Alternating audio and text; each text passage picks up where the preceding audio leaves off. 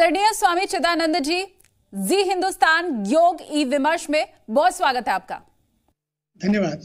पूरा विश्व आज योग दिवस मना रहा है। भारत के लिए बड़े गर्व की बात है क्योंकि खासकर अगर भारत की हम बात करें तो योग हमारे संस्कृति में हमारे संस्कार में बड़े पुराने वक्त से रचा बसा रहा है और इस संस्कृति को आगे बढ़ाने में गुरु जी आपका भी बहुत बड़ा योगदान है। लेकिन खासकर आज के दिन अगर मैं योग बनाए निरोग या फिर योग करो, निरोगी रहो, इस बात के बारे में जानना चाहूँ तो ये संभव कैसे होगा? मंत्र क्या है इसका? देखिए, पहली बात तो यह है कि मैं आपको जी हिंदुस्तान की पूरी इनक्रेडिबल टीम को धन्यवाद देता हूँ और योग दिवस के इस अवसर पर शुभकामनाएँ देता हूँ। निश्चित रूपेण योग से हम निरोग रह सकते हैं, ये पक्की बात है। मेरा तो मानना है कि डेली करें योग और रहें निरोग। स्वस्थ और निरोग रहने के लिए क्या चाहिए? नंबर वन पीसफुल माइंड और बैलेंस्ड माइंड और डिसिप्लिन माइंड योग से दोनों, तीनों चीज़ों को हासिल किया जा सकता है। परंतु कब?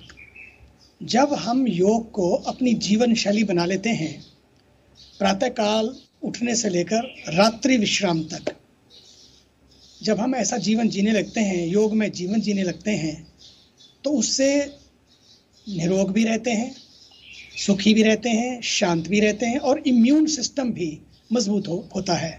शरीर में स्फूर्ति बनी रहती है, शरीर में ऊर्जा का स्तर बढ़ता है और ध्यान करने से तनाव कम होता है और मन में पॉजिटिविटी सकारात्मकता का संचार होता है। योग से तात्पर्य दो चार आसनों को करने से नहीं है। मैंने तो देखा, जब मैं जंगल में था, बहुत छोटा था बड़ी बड़ी कंदराओं में गुफाओं में उन महापुरुषों को मैंने देखा है। और उन महापुरुषों को जब मैंने देखा है तो मैं बता सकता हूँ कि उनके जीवन को केवल थोड़ी देर योग करने से उनका जीवन नहीं, बल्कि वो लोग योग को जीते थे, हर पल जीते थे। क्योंकि योग तो जीने की विधा है ना। Yoga is not what you do yoga is what you are आसन बहुत प्यारे हैं, ध्यान बहुत प्यारा है, लेकिन उसके साथ साथ हमें अपने जीवन को भी ध्यान में बनाना होगा, योग में बनाना होगा।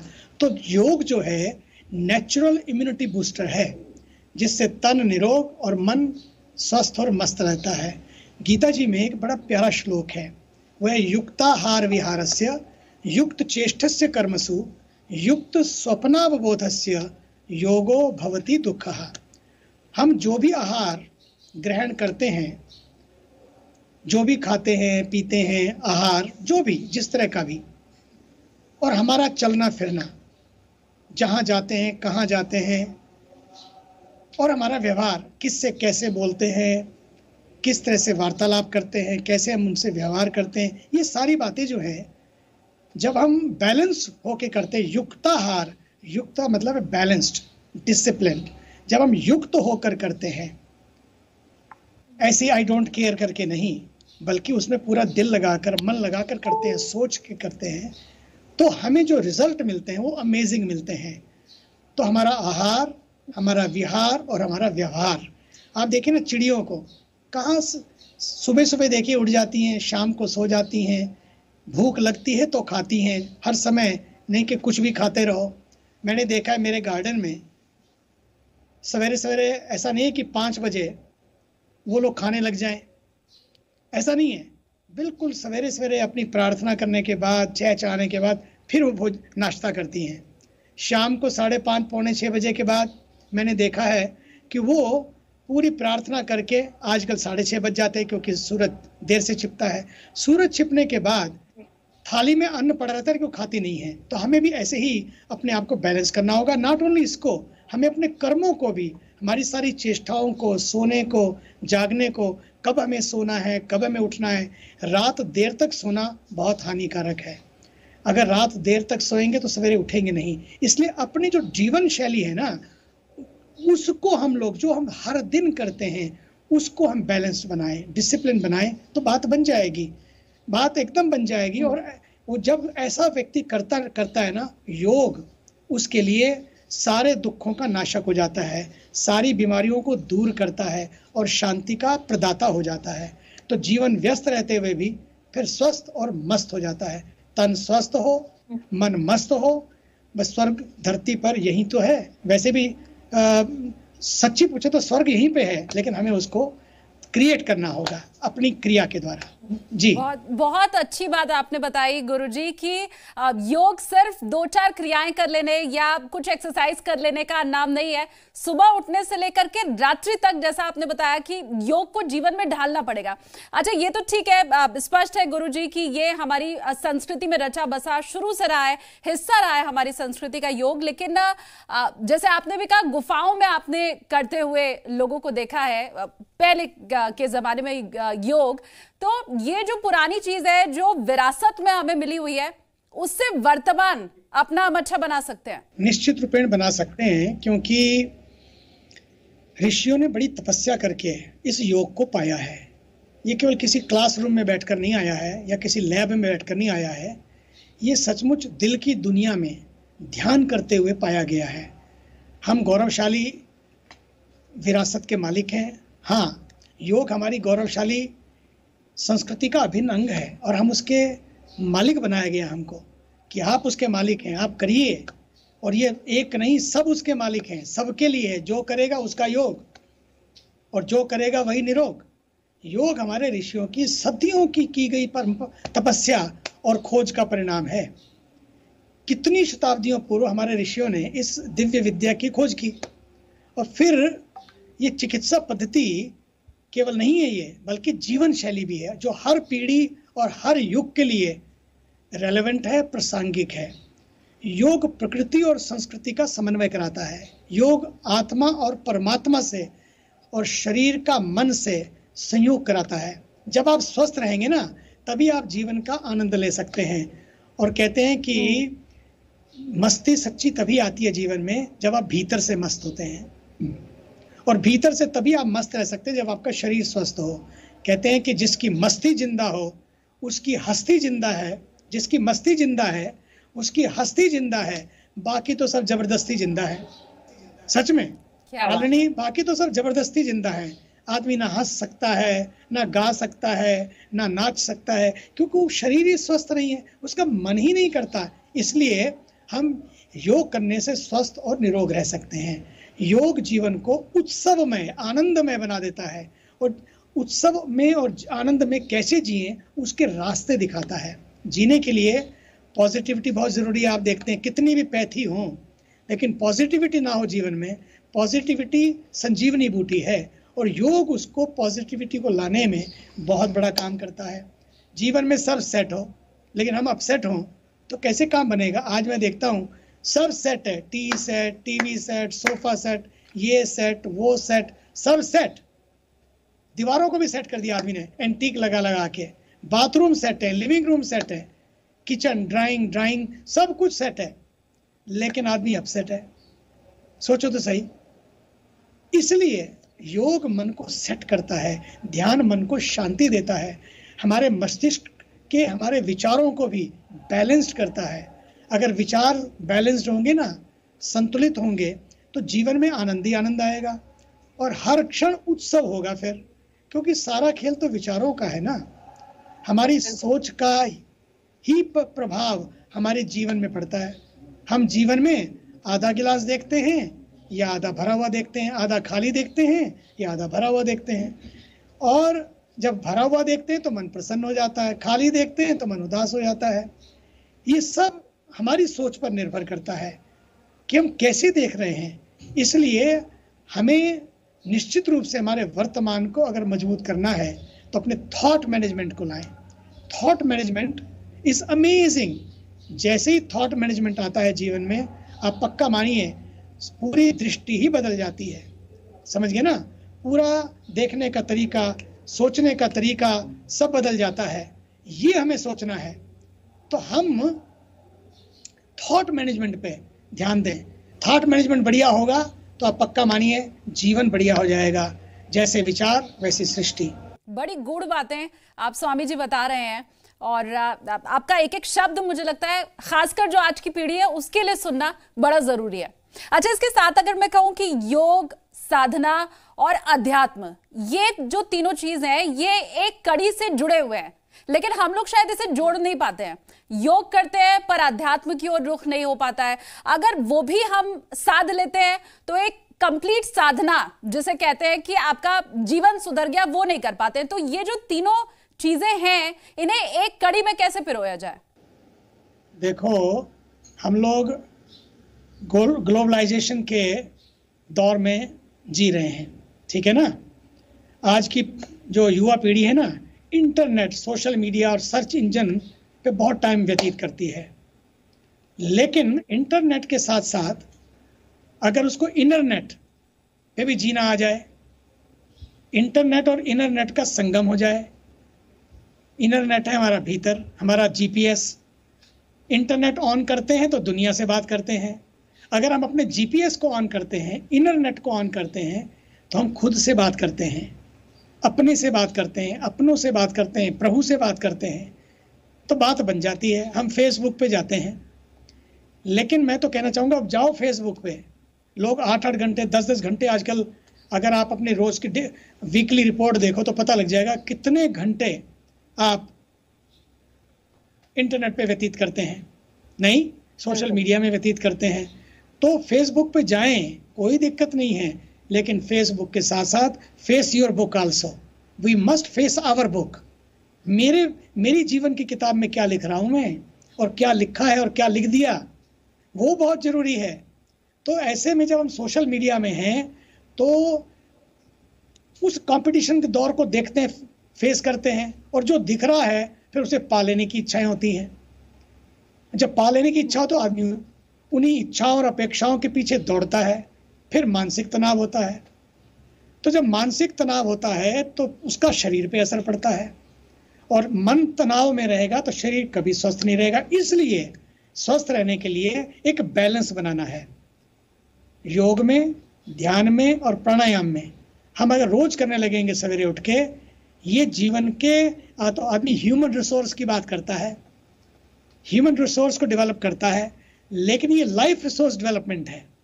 इन तीनों से हम लाइफ के रिसोर्सेज से, ध्यान और प्राणायाम और योग के माध्यम से हम अपने एचएसआर को नहीं, बल्कि हम अपने लाइफ रिसोर्सेज को सीख जाएँगे कि कैसे इसको मैनेज करना है। और इसके साथ साथ हम लोग आंतरिक शांति, जो इनर पीस है, ये बहुत ज़रूरी है। व्यक्ति सोचता है कि ये पा लिया ये पा लिया वो पा लिया लेकिन सब पा लिया और पीस खो दी। घाटे का सौदा होगा। आदमी कई बार सिक्स फिगर्स आजकल तो बच्चे स्कूलों से निकलते हैं कॉलेज से निकलते हैं बड़ी बड़ी यूनिवर्सिटीज से निकलते हैं डिग्रियाँ लेके तो सिक्स फिगर्स में उनकी तनख्वाह मिलती है। सिक्स फिगर में तो तनख्वाह मिलती है, लेकिन अपनी फिगर खराब हो जाती है। तो अपनी फिगर का भी ध्यान रखें। तो जब हम साधना करते हैं ना, ध्यान करते हैं, और तो हम केवल अपने साथ नहीं जुड़ रहे।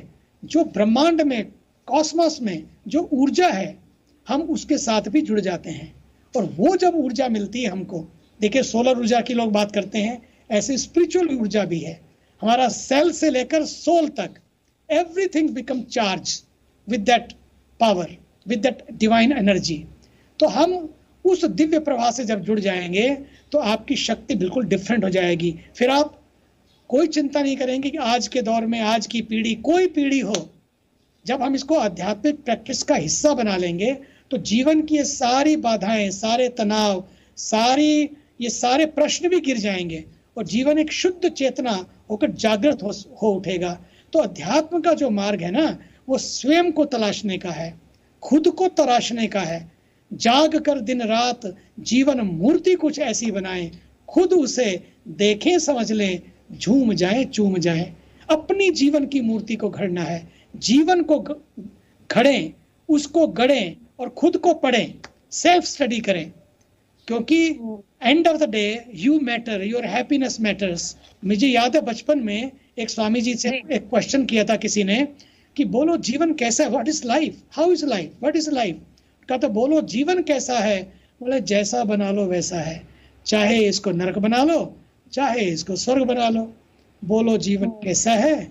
जैसा बना लो वैसा है। बस ये अपने हाथ में है। इसलिए ध्यान हो साधना हो योग हो ये सब हमारे जीवन में बैलेंस लाते हैं। और साधना के बल पर ही देखिए ना, नरेंद्र जो स्वामी विवेकानंद बने और अपने नरेंद्र, जो नरेंद्र मोदी बने, आपने देखा है उनको?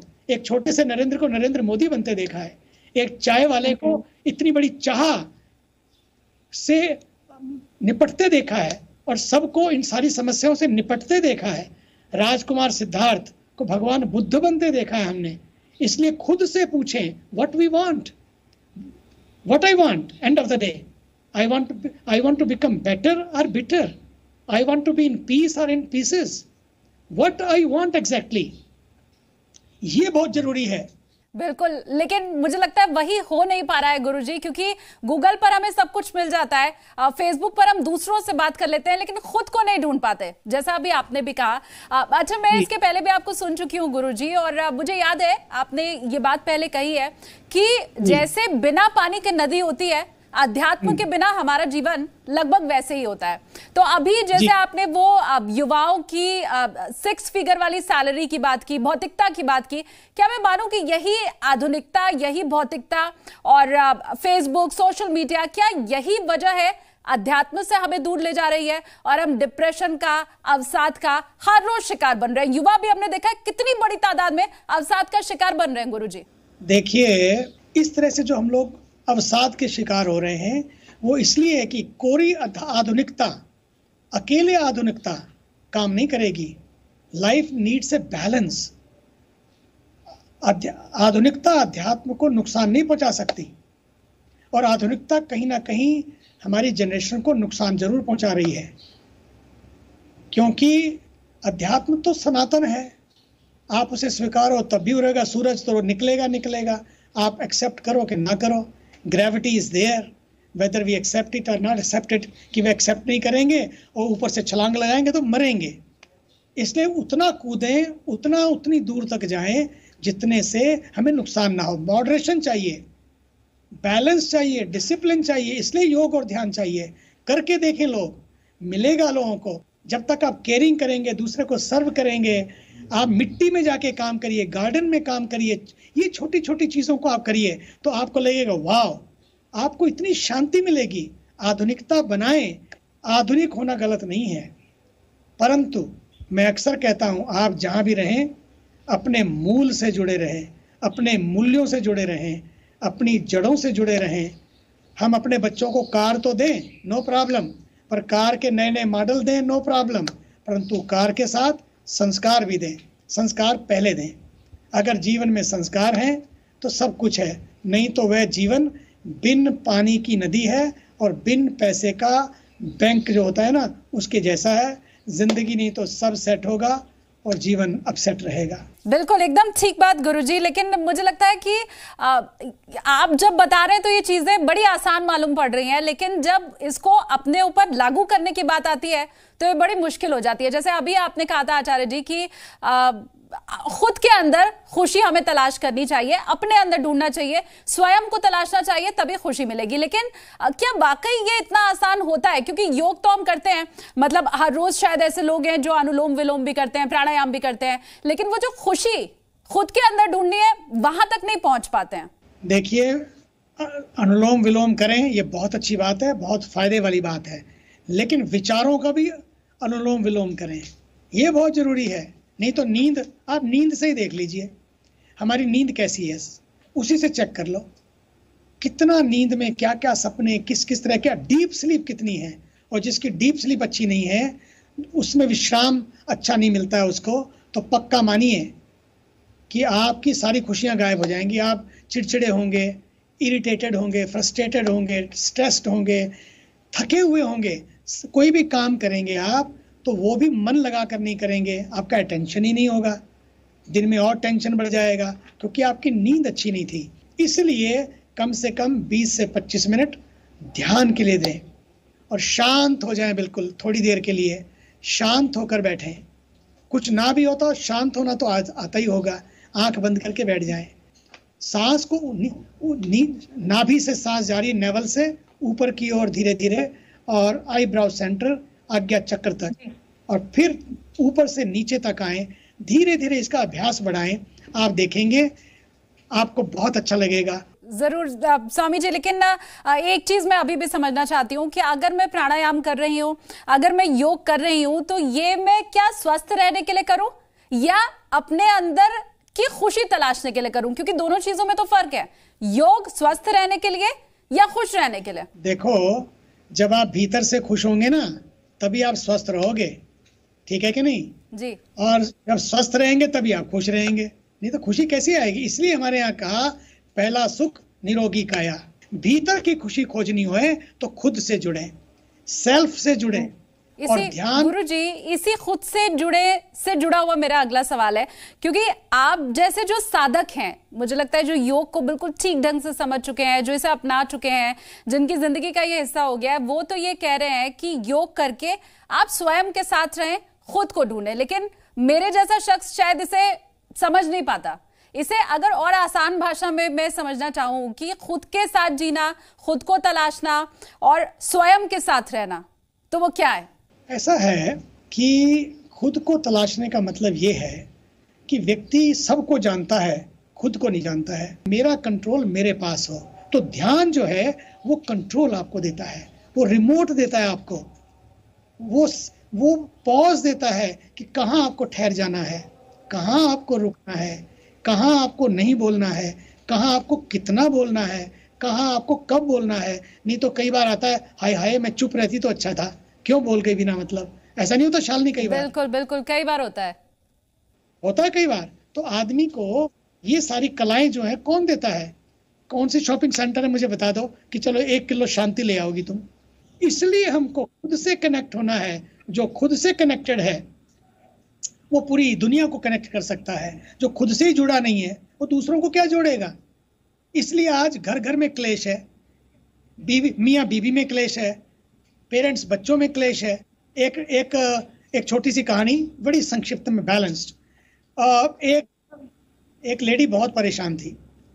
वो डॉक्टर के पास गई, बोले doctor I am very puzzled I don't know what happen to me मैं जहाँ छूती हूँ, जहाँ हाथ लगाती हूँ, वहीं दर्द होता है.